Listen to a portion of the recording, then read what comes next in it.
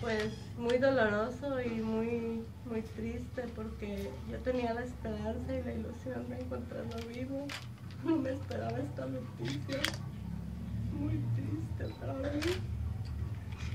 Pero lo encontramos y es muy importante haberlo encontrado porque tenemos la incertidumbre de no saber absolutamente nada porque no teníamos datos de nada. Y este, gracias a Dios que lo encontramos. Este, y aquí estamos, compartiendo sus últimos momentos con sus restos.